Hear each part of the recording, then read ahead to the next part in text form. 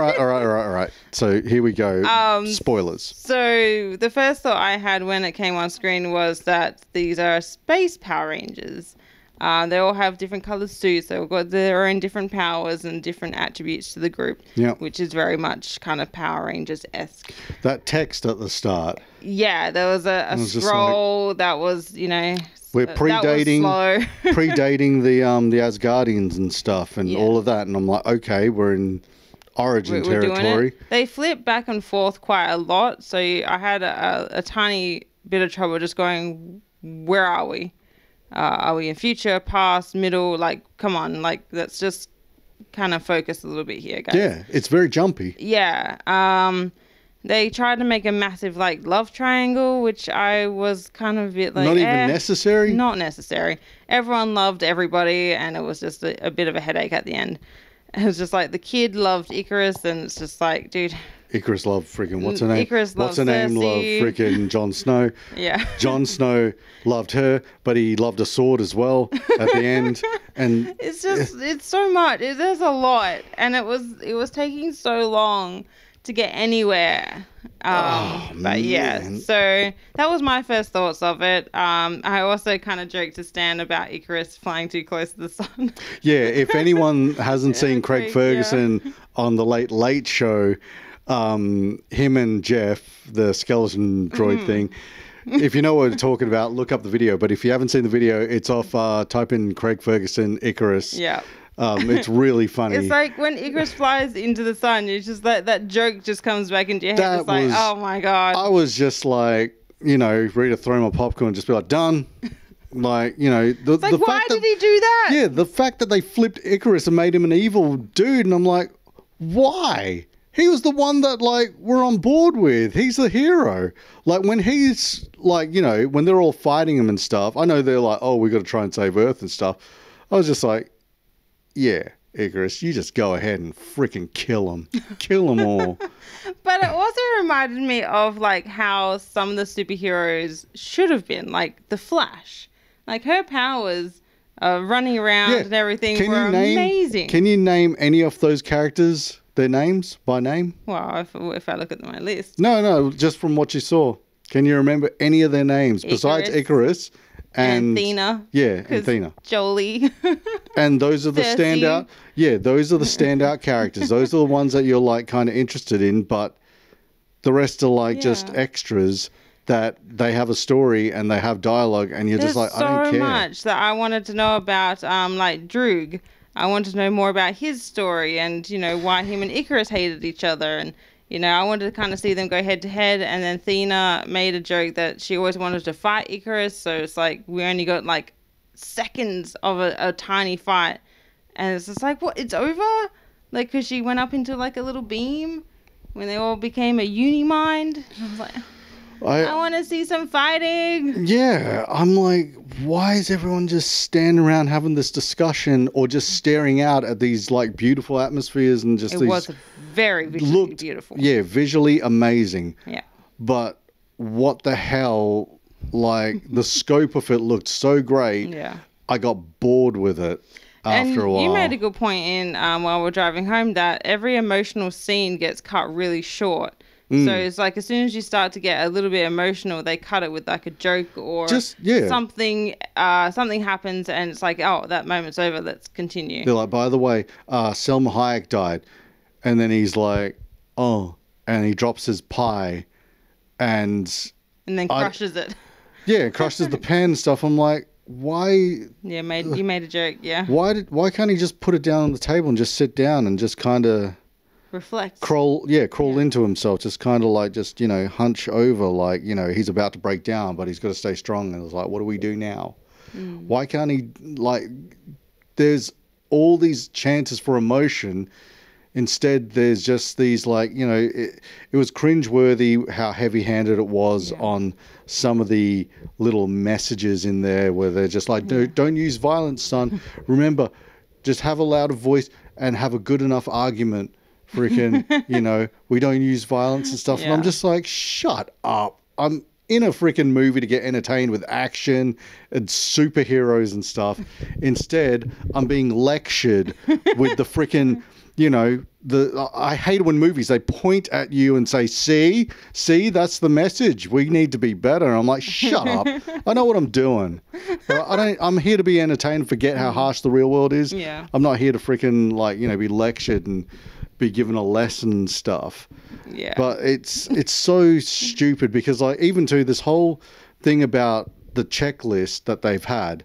So they had everyone's like five guys, five girls, you know, All different races yeah, colours and- sexualities, and yeah, stuff, all that kind of stuff. size. Uh, they had the And- deaf lady. They had mental disability. They had Yeah, Jolie's character and, and just yeah, and you know the the gay couple and Yeah. and all of this and that stuff, and you just didn't have the one important thing was character development from a very good Yes, script. Yeah.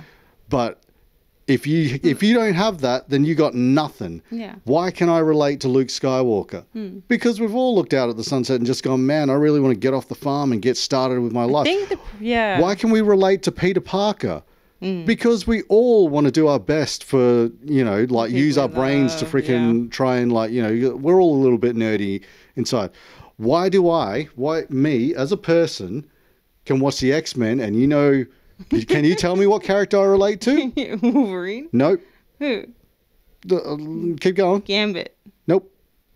I don't know. Charles Xavier. No. Magneto. No. I don't know. Rogue. Oh, that's mine. You I can't can have her. I can relate to Rogue because we've all known what it's like to not have human contact and to be isolated and feel alone and feel like this is going to be forever. That's something that we've all had to go through. I can relate to Rogue and she don't look like me. I don't need her to look like me. And mm. freaking this movie was just so hell bent on being like, yeah, we got all these superheroes and we got all these freaking like, you know, characters and yeah, everyone can relate to them and stuff. And it's like, nah, no, like, There's there's too many cooks in the kitchen for sure. So you had four writers um, all in on this. You have way too many characters to try and build together. So what they did with Avengers is like they built it over time. So you had the time to learn about the character, be invested in them. So when the character dies, you feel it. Um, they didn't have really enough time for every character for you to feel an impact of their world. So like when um, the gay couple scene came on, it's like yes, it's beautiful. It's a great scene, but it doesn't last that long. It's like a couple minutes where you're supposed to feel um, the impact of uh, this character and his world, and you're just like okay. and I don't want to be that guy who's like, well, freaking, you know, let's let me use this as an example, but I'm going to use it as, as an example. Guardians of the Galaxy. When James Gunn made that, and he was like driving home, and he was like, man, it's a big commitment to any Marvel project. It's going to take like four years of my life to get this done and ready to go and stuff. And he was like, how would I do it? Because originally Marvel wanted to have the Fantastic Four, but the rights were at uh, Fox. So they're like, what other team movies we got? Uh, let's see if we can um, throw something at James Gunn, see if he's interested in stuff. We'll work with him because he's a good, Yeah. small budget, independent director. Yeah. And what did he do? He was like, all right, I can um, I can make Rocket uh like a failed experiment and stuff, or I, Groot can be like you know kind of mascot type, but still a lovable like the heart of this kind of thing. It's not all just based on Star Lord. It's also Gamora's story because it's a story about how we have like you know it's not just the sins of our parents like with Gamora it's also the love that we got from our parents and stuff. And Star Lord you know he loved his mother Gamora she was afraid of her father. And that all the way that winded through with like Drax saying I lost my family. And you know uh, there's nothing I can do uh, nothing I've got but revenge. And then he finds his family there in freaking all these characters and stuff, but they didn't. He didn't overcrowd it. We didn't get freaking Nebula jammed in the Guardians Yeah. part of the crew. We didn't get Mantis jammed in there. We didn't say, oh hell, hell, let's put Thor in there now as Guardians of the Galaxy straight away. It was like no, they started small, and then they worked their way up. Yeah. If I was, you know, because obviously I'm such a great talent. if I was writing this Eternals, I would have had Ikaris going from each character like when he goes missing for all those years and stuff, and they're like haven't heard from him when he like kind of broke up with me and stuff. I would have had him going to each character trying to motivate them like you can do it or you can do acting or you you can pursue this you can do that and helping them along the way and eventually him going to Salma Hayek's character who was originally a, a male character in the comics but they gender changed it which is fine Yeah, because it, great it, job. it works hey um Edra um Idris Elba. yeah, he he great Heimdall proved me wrong. I was like, why did why did they have Heimdall as freaking, you know, another kind of version of Thor? Oh, because he looks too much like Thor, and then he knocked it out the park. He was very cool. But anyway, to have him go up to Salma Hayek's character, and she's just like, all right, well now we got to end the. Fucking, Pardon my French. We got to end the Earth, and for Ikaris to be like, no, we're not going to do that. Yeah. Why make him the villain? Oh, because we got to have a freaking, you know, one of the team members turn evil or something. It's Mm. just such a flip that was just unnecessary. It was stupid. I hated the way they ended him. Well, they made him so antisocial, so so impersonable. Very relatable, like in terms of like, you know what, I'm I'm I'm just here to kind of help, but I'm not ready to leave. But there was no character development on him at all. It was just like he was there and, you know, just kind of floating or staring or doing Just something. brooding and brooding. stuff. Yeah, that's And just- word. like I think they were trying to make him a bit of a Weasley worm kind of character to be like, oh, he's hiding something.